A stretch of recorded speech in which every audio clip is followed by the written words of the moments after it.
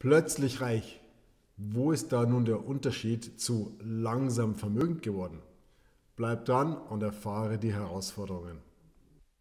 Heute wollen wir uns anschauen, wo genau der Unterschied ist, wenn du langsam vermögend aufgebaut hast und zu der Situation, dass du plötzlich vermögend geworden bist.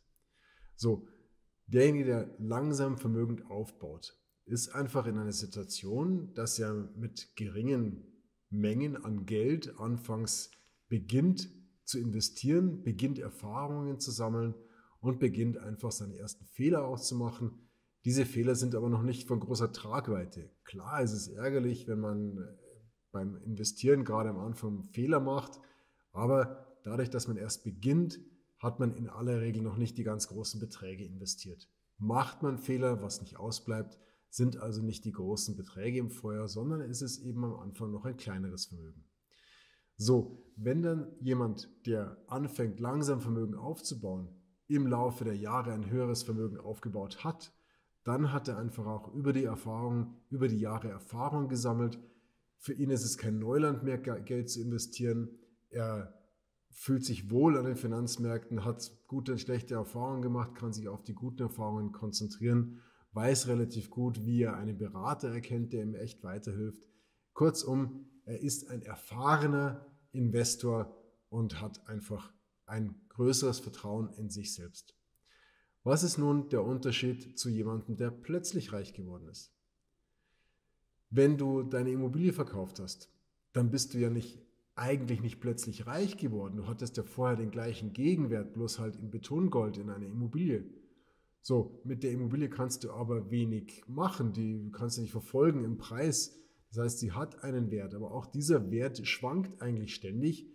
Nur du bekommst es nicht mit, weil eine Immobilie nicht täglich bewertet wird und diese Bewertung nicht täglich in der Zeitung oder im Internet nachzulesen ist.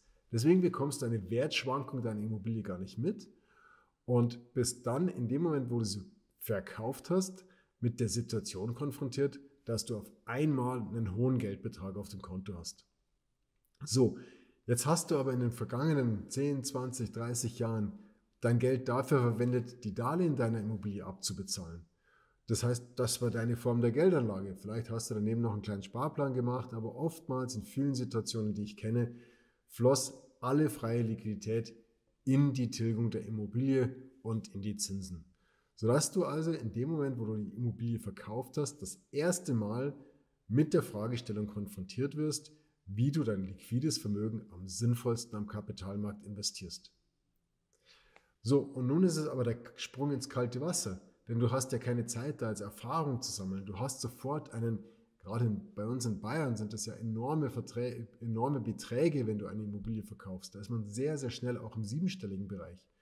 So, wenn du jetzt ein siebenstelliges Vermögen hast und dieses auf einmal investieren möchtest, ohne Erfahrung, da kann ich gut verstehen, dass du da irgendwo in Bedrängnis kommst.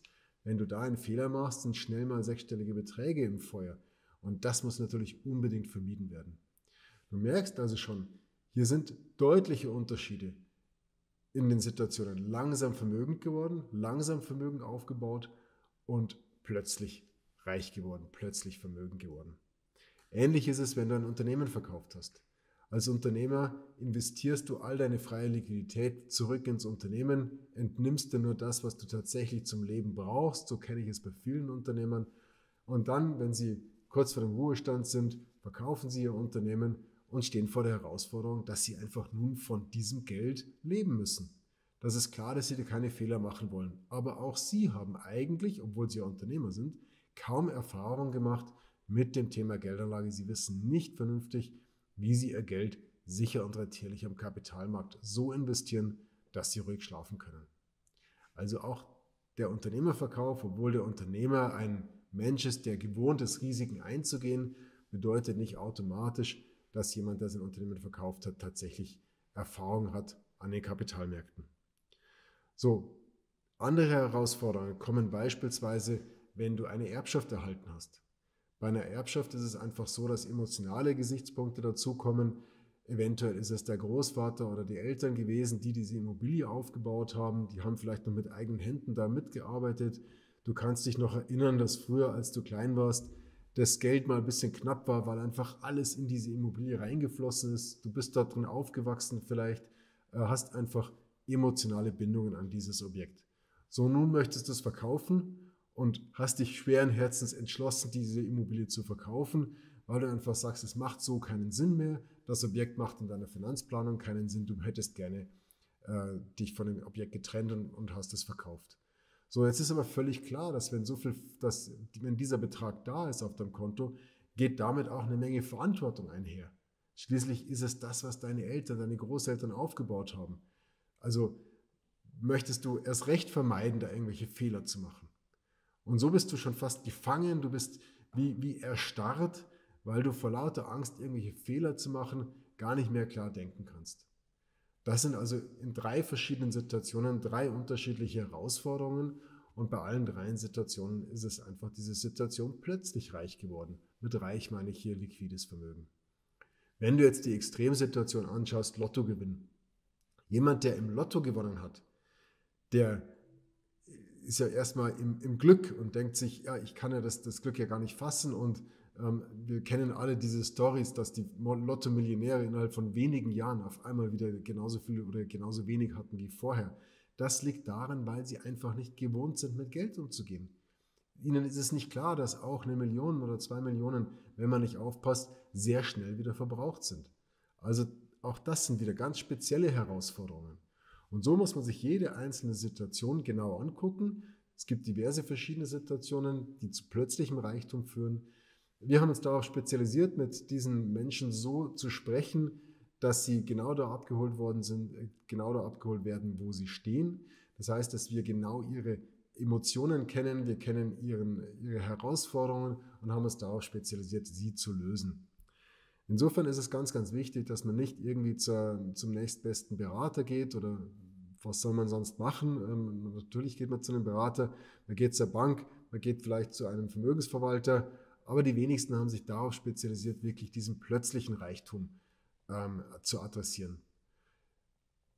Wenn ich dir einen Rat geben darf, dann geh zumindest drei verschiedenen Beratern. Hör dir einen Banker an, erklär ihm seine, deine Situation, hör genau zu, wie er dich berät, wie er auf dich eingeht, ob er auch emotional nachvollziehen kann, in welcher herausfordernden Situation du steckst. Dann geh zu einem Vermögensverwalter beispielsweise ähm, und such dir noch jemanden Drittes, am besten zu Leuten, die du vielleicht empfohlen bekommen hast. Und dann bildest du dir deine eigene Meinung. Ähm, wenn du heute zum Arzt gehst, weil du eine Knieoperation vor dir hast, gehst du auch nicht zum erstbesten Arzt, lässt dein Knie aufschrauben, äh, aufschneiden und ähm, operieren, sondern du holst dir meine zweite Meinung ein, anschließend weißt du mehr. Wir stehen dir gerne zur Verfügung, auch mit einer zweiten Meinung. Wenn du andere Berater bereits gehört hast, ist es umso besser, dann kannst du es wesentlich besser vergleichen. Hörst dir gerne an, wir stehen dafür bereit. Wir haben uns darauf spezialisiert, Menschen mit plötzlichem Wohlstand zu beraten und zu ihrer Situation, zu ihrer äh, finanziellen Strategie zu verhelfen, mit der sie sich einfach dauerhaft wohlfühlen, die unter Umständen auch über Generationen hinweg, sollte das gewünscht sein, diesen Wohlstand erhalten, sodass also das ähm, Erbe oder die, die Energie, die die Eltern, Großeltern in eine Immobilie, Immobilie gesteckt haben, die du in dein Unternehmen gesteckt hast, dass diese Energie erhalten bleibt über Generationen hinweg.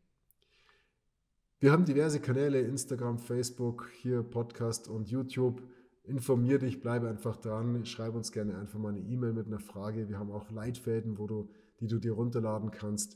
Ähm, wir freuen uns einfach über die Interaktion. Bleib dran und erfahre mehr.